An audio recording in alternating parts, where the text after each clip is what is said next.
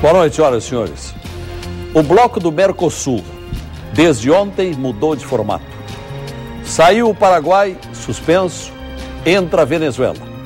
Considerando a destituição do presidente paraguaio, Fernando Lugo, em 22 de junho passado, os demais integrantes do bloco, Brasil, Argentina e Uruguai, aceitaram o ingresso do país de Hugo Chávez, que antes era rejeitado justamente pelos paraguaios.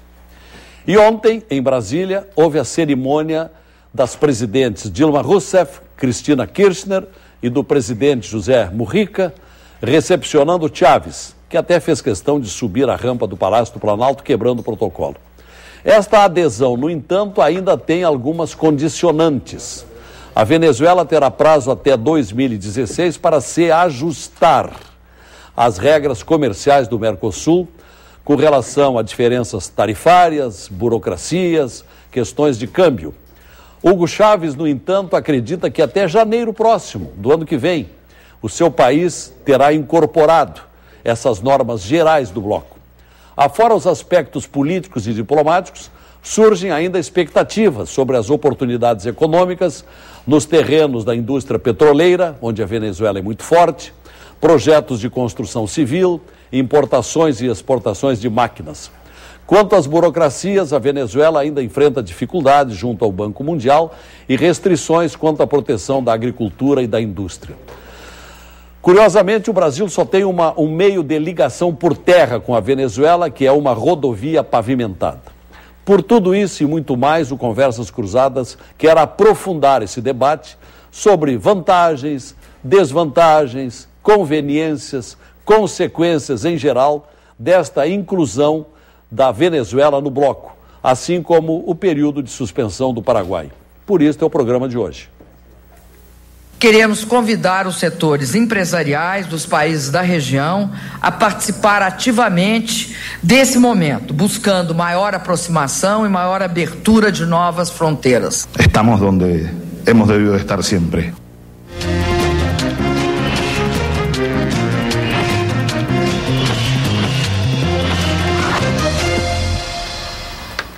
Então, para discutir a entrada da Venezuela e saída, talvez temporária, do Paraguai do Mercosul, convidamos o professor de História na Fundação Liberato de Novo Hamburgo, Daniel Sebastiani, o economista e ex-diretor do Instituto de Estudos Empresariais, Fábio Osterman, o integrante do Diretório Estadual do PT, Chico Vicente, e o cientista político do Centro de Estratégia, Inteligência e Relações Internacionais, Marcelo Suano. Nosso programa tem o patrocínio de Funerárias Reunidas, carinho, respeito e honestidade. Sicredi, gente que coopera, constrói um mundo melhor. CIE, ações sociais que transformam. E Sistema Fê Comércio, com você a gente faz a economia girar. A agenda empresarial do Conversas Cruzadas é um oferecimento de Merigo Estruturas Metálicas, fazendo parte de sua história.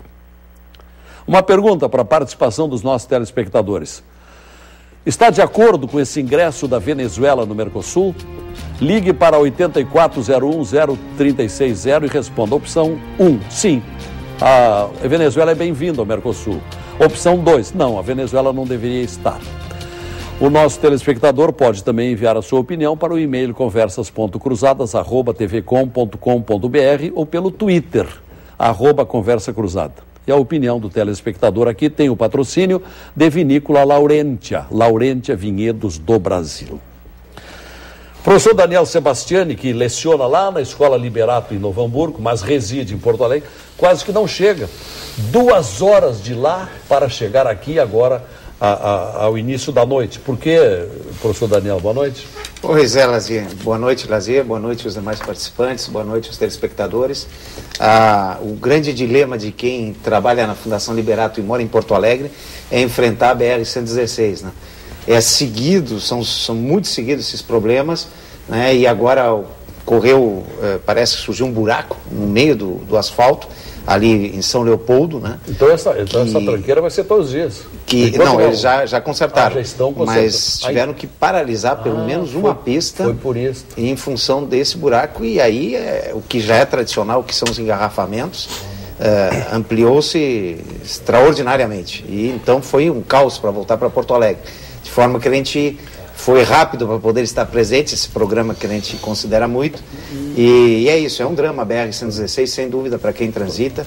Eu vim de carona com uma colega, a professora Ana Isabel, e a gente estava conversando isso, justamente, a dificuldade da gente transitar por ali. Nós que transitamos vários dias por semana para ir, para voltar, a gente sente isso na pele. É um estresse a mais, né? Exato. E esse trânsito da Venezuela pelo Mercosul? Pois é, esse é um trânsito já, ao contrário do da BR-116, é um trânsito que me parece positivo. Aqui eu gostaria de colocar algumas coisas. Primeiro, é, quando da queda do socialismo, da revolução técnico-científica dos anos 70, a partir dos anos 90, sobretudo, iniciou-se no mundo um processo de desregulamentação da economia, é, de quebra de barreiras, de abertura de mercados, de privatizações, de diminuição de é, é, barreiras alfandegárias, é, de barreiras legais, de normatizações para o sistema financeiro, de forma que o fluxo de capitais e o fluxo de mercadorias ampliou extraordinariamente a sua capacidade de ação.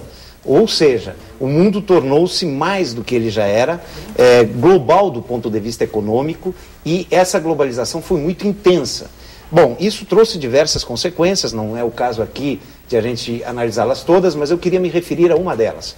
Os países, as nações, eh, procuraram enfrentar esse processo de globalização de diversas formas, entre elas constituindo blocos econômicos que lhes permitissem eh, agir de forma conjunta nesse mercado global, já mais difícil de ser transitado pela sua dinâmica, e com isto ganhar em escala, ganhar em cooperação, trocar uma série de vantagens competitivas para enfrentar esse mercado global.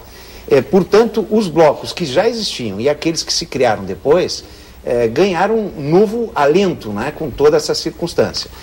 O surgimento do Mercosul vai nesse rumo também a tentativa de integrar as economias latino-americanas e construir um bloco que nos permita competir nesse mercado cada vez mais global e competitivo com vantagens comparativas, uma vez que une mercados das dimensões do Brasil, da Argentina e também junto com o Paraguai e o Uruguai. Bem, na medida que a Venezuela se incorpora nesta lógica, ah, o que, que ela faz? Ela reforça o nosso bloco econômico.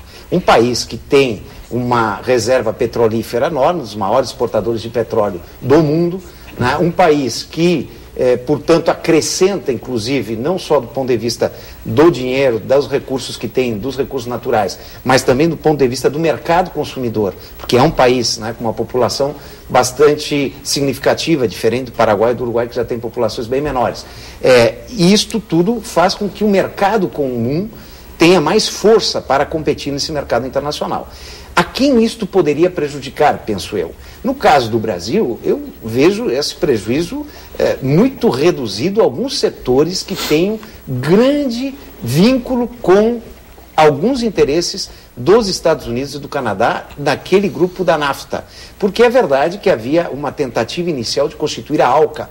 Ah, não sei se você lembra, claro. que seria um mercado comum em que, na verdade, na nossa opinião, os países da América Latina seriam uma periferia do centro do bloco, que seria os Estados Unidos e o Canadá, em prejuízo dessa periferia. Ao se constituir o Mercosul, né, e a NAFTA hoje está mostrando isso, o México tem sofrido com o NAFTA muito, e isso tem beneficiado mais os Estados Unidos e o Canadá. Ao se constituir o Mercosul, eh, juntou países né, que eh, de uma forma ou de outra, embora existam desarmonias e conflitos, como é natural, mas eles se harmonizam mais nos seus interesses e com isso conseguem competir melhor no mercado internacional. A entrada da Venezuela só reforça isso. E ao reforçar a economia brasileira e ao reforçar a capacidade do Brasil e dos países do Mercosul de competir no mundo, ora, isso só traz vantagens. E, portanto, eu acho que não é um debate é, estritamente ideológico, ou seja, quem está de acordo ou em desacordo com o governo Chaves, que eu particularmente apoio, mas não é essa a discussão. É que, na verdade, a Venezuela nos traz vantagens a todos os brasileiros em termos econômicos, bem como aos colegas do Mercosul. Professor Marcelo Suano. Bom, boa noite, Lazier. Boa noite, Daniel. Boa noite, Vicente. Boa noite, Fábio. Uh, boa noite, cidadão gaúcho, cidadão brasileiro. E essa é uma questão é, é, espetacular, porque traz uma série de questões, uma série de problemas que é, podem ser tratados logicamente, podem ser tratados ideologicamente, podem ser tratados é, economicamente. E é interessante que eu respeito e gosto muito do Daniel. É, o Daniel é, é o ponta esquerda enquanto eu sou o meia direita. Né? então, mas eu respeito muito e acho muito e interessante. E daqueles ponta esquerdas que jogam avançado, né? É, e até defendeu o Chaves.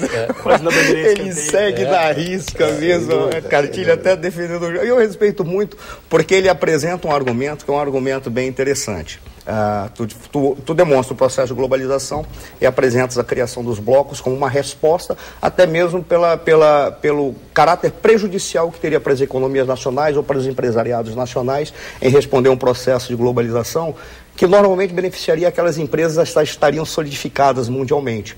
O que a rigor não está errado.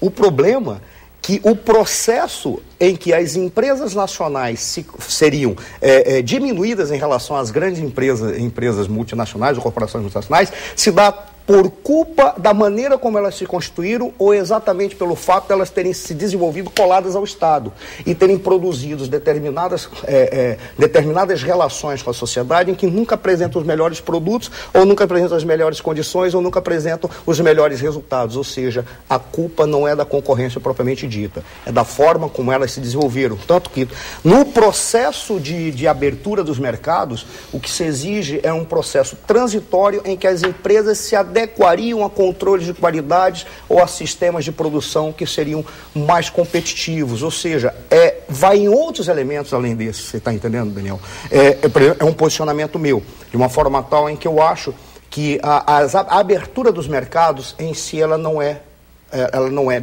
maléfica. O que é maléfico é a forma como é feito e nos processos em que, ele, em que são. Que, a forma como é feito e como é conduzido.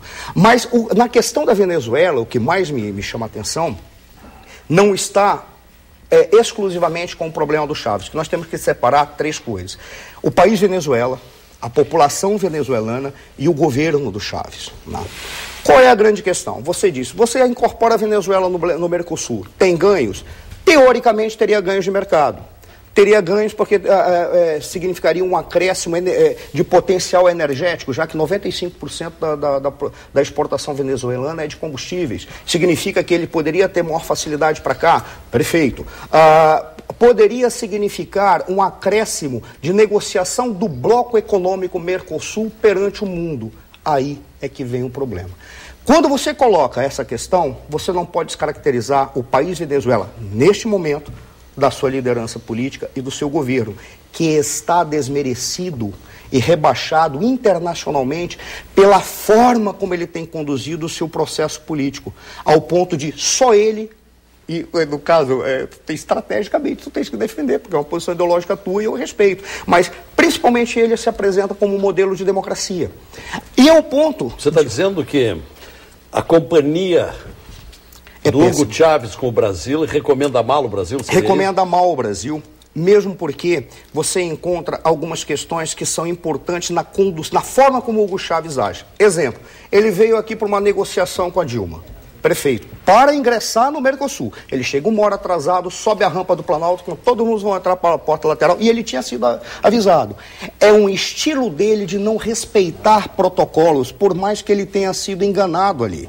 Mas ele não respeita protocolos e não cumpre acordos. Esse é o primeiro ponto. Segundo ponto, ele foi incorporado no Mercosul no momento de crise da instituição Mercosul. Por quê? Porque o Paraguai não saiu do Mercosul, tá ele suspenso. foi suspenso. Pelos, acor pelos, acordos do Mercosul, o Paraguai seria obrigado a, a, a, a apresentar o seu posicionamento. posicionamento. Mas mesmo suspenso, essa é a grande questão. Só que tem um detalhe: a suspensão dele está prevista até a eleição presidencial que, do ano que vem. Por qual razão? Para evitar um vício de origem, não se esperou até o ano que vem para que o novo, o novo presidente ou o novo governo paraguai se posicionasse. É um Os vício de origem. estão dizendo que vão recorrer, mas eles recorrem a quem? Eles só podem recorrer ao próprio, ao próprio Mercosul. Eles podem recorrer à corte, às, às outras cortes, mas teria, não, teria, não teria validade jurídica, mesmo Sim. porque ele tem que recorrer ao Mercosul e os tribunais do Mercosul já recusaram. Curiosamente. Agora, parece que tem um partido político brasileiro que, que, que também pensa em recorrer Né? É possível. PPS, se não me engano. É, é, é o PPS. PPS, se não me engano. PPS. Sim.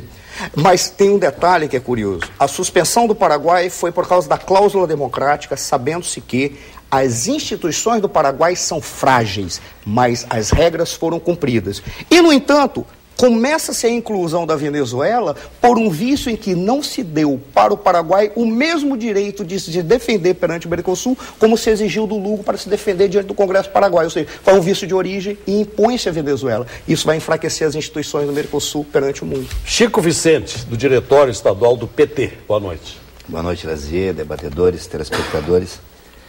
É, eu tenho acordo com o Daniel de que é uma oportunidade histórica para o Brasil com várias vantagens. Do ponto de vista econômico, a Venezuela é um país interessante porque, como ela tem muito petróleo, ela tem a maior reserva do mundo.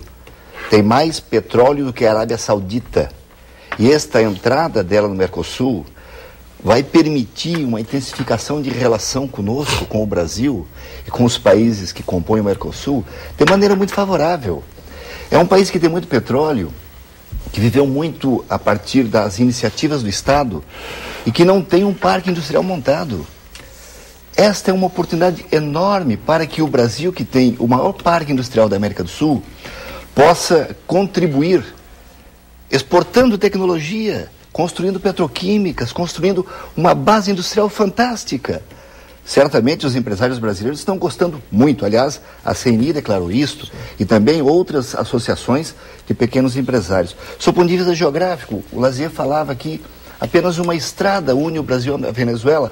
Ora, isso pode permitir acordos em vantagens comparativas muito mais favoráveis, porque reduz custo de investimento na medida em que eh, rebaixa eh, tarifas, para que se possa eh, instituir um processo de integração geográfico muito mais intenso, do ponto de vista estratégico, na medida em que se pode constituir no Mercosul, o Mercosul como um grande espaço mundial de segurança energética e alimentar, na medida em que eh, são dois países que eh, têm grandes populações, que têm muitas fontes de energia, e isto é estratégico para o mundo, do ponto de vista social, na medida em que pode trazer benefícios para os trabalhadores, para toda a sociedade como um todo. Portanto, eu acho que é uma, é uma, uma, uma, uma grande iniciativa, ela deve ser saudada, na minha avaliação. Eu não entendo é, apenas por motivo ideológico aqueles que são contrários. E não entendo, por exemplo, a questão de. Tu dizias que é, o Mercosul poderia esperar o Paraguai voltar. Mas olha, o Mercosul está esperando o Senado do Paraguai votar sim ou não a adesão da Venezuela desde 2006. São seis anos. Sempre contra. Sempre contra. Eu vou te responder depois, Chico. Porque, na verdade, acontece o seguinte: a, na minha avaliação, a visão do Senado é, do Paraguai é uma visão puramente ideológica. Porque ela tem que entender que o Mercosul é uma associação de estados e não de governos. Vamos supor que o Chaves perca a eleição que tem no final desse ano. Entre um partido de direita no governo. Que parece que está tá surpreendendo até, né? Pelo que dizem os noticiários. É, mas o Chaves está bem posicionado. Espero que ganhe. Continue lá. Mas vamos supor que aconteça. Mais 20 né? anos. Bater na mesa três vezes para não acontecer. Ora, dois meses depois, o, o, o, o, Senado do Paraguai aprova a entrada da Venezuela. Mas isso, é, sob o ponto de vista político, moral, é correto? Portanto, é questionável também a posição do Paraguai até aqui. Segundo lugar, o Tratado Mercosul, estava lendo ele antes de voltar para cá e vir para cá, ele define que a decisão de ingresso tem que ser tomada por unanimidade dos membros plenos. O Paraguai, os Estados parte. Os Estados parte. O Paraguai está suspenso desta condição. Mas ele não foi excluído. Não foi excluído. Ele está suspenso da decisão. Meus camaradas, de jogo de futebol, quando o, o jogador é expulso e tem um pênalti, ele não pode entrar para bater. Até um juiz, até um juiz numa Corte Suprema, se algum dos juízes agora do STF para julgar o mensalão. Mas isso é jogo ele, de futebol e política, não dá para colocar tá no, mesmo, no mesmo. Vamos mesmo para uma questão adicional. Se um dos juízes do Supremo Tribunal Federal for declarado ou se declarar incapaz ou é, impossibilitado, ele não tem substituto. A se decisão... houver uma regra que diga que todos não os juízes devem regra. estar presentes e devem concordar Deve ser um consenso o julgamento? Todos com pleno direito. O Paraguai está sem pleno direito. Essa é a questão. Não é isso que diz o tratado. É isso que diz o tratado e é isso que diz é, o direito internacional. Bom, é, mas concluindo essa primeira parte, é, eu apenas queria dizer, reforçar e dizer o seguinte, que eu acho que o Brasil vai ganhar muito, os trabalhadores vão ganhar, o país vai ganhar, os empresários brasileiros vão ganhar. E eu não estou conseguindo entender, e não estou concordando, obviamente, com a posição contrária. Eu até gostaria de ouvir mais argumentos para ver se, de então, repente, então, vamos, vamos, vamos começar a ouvir. compreender melhor. Vamos ouvir o economista e ex-diretor e integrante do IEE, é, Fábio Osterman. Boa noite. Muito boa noite, Lazier, aos meus colegas de bancada, especialmente aos telespectadores. Eu estou positivamente surpreendido de vir aqui essa noite e encontrar Uh, não só o Marcelo, mas também um membro do Partido dos Trabalhadores e um membro do Partido Comunista do Brasil, defendendo efusiva e entusiasticamente os benefícios do comércio. Né? Eu acho que é algo que deveria ficar muito claro para todos, que todas as nações só têm a ganhar com, com o comércio, especialmente com o livre comércio, que foi uh, aquilo em nome do qual o Mercosul foi criado. Né? O nome do Mercosul, Mercado Comum do Sul, foi criado para que o Mercosul for, agisse como uma, em primeiro lugar, como uma união aduaneira que fosse aos poucos diminuindo as barreiras de comércio entre esses países. Porém, ao longo desses uh, 20 anos de criação do Mercosul, mais de 20 anos, 21 anos, o que a gente viu é que a gente passou cada vez mais a se afastar desse ideal de livre comércio entre as quatro nações componentes do Mercosul. Né? E esse, esse ritmo de afastamento desse princípio se acelerou após a posse do presidente Lula. E uh, é curioso agora que a gente veja a entrada da Venezuela no Mercosul, especificamente nesse espaço de tempo relativamente curto, em termos de 21 anos de idade do Mercosul, que coincide justamente com a suspensão temporária do Paraguai. Né? Então acho que cabe a gente questionar o porquê da entrada da Venezuela nesse momento e também, especialmente, por que será que esses apoiadores da entrada da Venezuela, com base em um argumento supostamente uh, aspirado de ideologias, um argumento que o comércio livre entre as nações traz, traz consequências benéficas a todas as nações, porque as nações têm capacidades complementares, etc., por que elas se opõem a acordos de livre comércio com outros países que não estão tão ideologicamente alinhados, como é o caso da Colômbia, como é o caso do Chile, como é o caso do Peru, que são países que, ultimamente, na América do Sul, parecem estar seguindo um caminho diferente da Venezuela. E países que têm muito mais uh, afinidade política com o Brasil, não política partidária, não política no sentido de o partido que ora ocupa o poder no Brasil, mas sim política em termos de instituições políticas, de uh, estabilidade política. Né? E não é o caso da Venezuela. A Venezuela é um país que tem um presidente que muitos chamam de ditador, não sem, não sem grandes razões, afinal, ele já vai completar 20 anos no poder em breve. Ele, todos sabem que ele corrompeu as instituições eleitorais da Venezuela e hoje muita gente, muita gente acredita na Venezuela que ele não sairá do poder uh, vivo, que a Venezuela só terá uma possibilidade de alternância de poder em caso de falecimento do presidente Chávez. Né? E, além do mais, o Brasil, ao estar se atrelando politicamente, como bem comentou o Marcelo, a Venezuela, corre um sério risco de ter que atrelar parte da sua soberania no estabelecimento da sua política comercial a um país como a Venezuela, que tem uma atuação militante no cenário internacional. Por exemplo, um país que rompeu relações diplomáticas com Israel, rompeu simplesmente por questões ideológicas. Né? O governo Chávez tem, tem buscado uma política de caráter antissemita que tem sido denunciada por diversos países mundo afora, diversas organizações. Recentemente, no mês de junho, uma companhia de teatro foi, uma companhia de dança, aliás, foi fechada na Venezuela porque eles estavam a encenar um, uma, um espetáculo de dança sobre a vida de Anne Frank. E Hugo Chávez não concordava com aquilo, ele achava que aquela companhia deveria encenar um espetáculo sobre o sofrimento do povo palestino. Né? Então, por conta disso, eles foram proibidos de seguir com a sua ensinação. Então, deixa eu só lhe fazer uma perguntinha, Fábio. Então, essa decisão da dona Dilma, da dona Cristina Kirchner, do seu Mujica, de aceitarem o ingresso do, da Venezuela, essa decisão, essa decisão se dá meramente por, por conveniências comerciais ou por afinidades ideológicas também? Eu, pessoalmente, não acredito na sinceridade do apreço do atual governo pelo livre comércio e pelas conveniências comerciais desse acordo. Para mim, está bastante claro que esse acordo é baseado, uh, em boa parte, nas conveniências político-ideológicas. Né? Parece que uma, uma afirmativa do Chaves uh, ontem, ao vir para o Brasil assinar o protocolo de adesão, e o por todas me chamou a atenção. Ele afirmou que a entrada da Venezuela no Mercosul completa a equação Agora é preciso recuperar o tempo perdido, andando mais rápido e com mais eficiência. Então acho que cabe a nós uh, nos perguntarmos, ao telespectador especialmente, que votou em seus representantes que foram lá alguns anos atrás e aprovaram o ingresso da Venezuela no Mercosul, se eles estão realmente de acordo com esse caminho que Chávez propõe para a Venezuela e agora que ele ingressa no bloco, que ele propõe também para o Mercosul, né? Porque a gente bem sabe que o Chaves gosta muito de ter palanque para proferar as suas ideias que, enfim, estão levando a Venezuela para um rumo um pouco eu fazer um intervalo. Começamos o próximo bloco pelo Chico Vicente. Aqui eu vou pedir que aprofunde mais um pouco essa perspectiva de boas negociações comerciais para o Brasil. Onde é que nós vamos também tirar proveito, afinal isso nos interessa muito, ainda mais numa época de crise.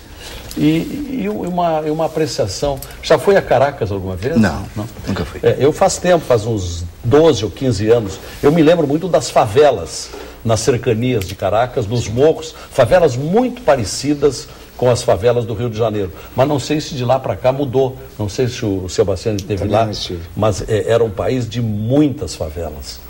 Não sei se melhorou com, com Pelas fontes que eu tenho, é. não mudou. Pelas fontes que eu tenho, melhorou bastante. É. Não, ele Nunca deu estive. algumas condições no início do governo, mas não alterou a condição básica da retirada do favelado e, a, e ao, a ascensão social. Bom, é, então comecemos no bloco seguinte com o Chico Vicente falando um pouco das, da, dos benefícios comerciais que o Brasil poderá ter.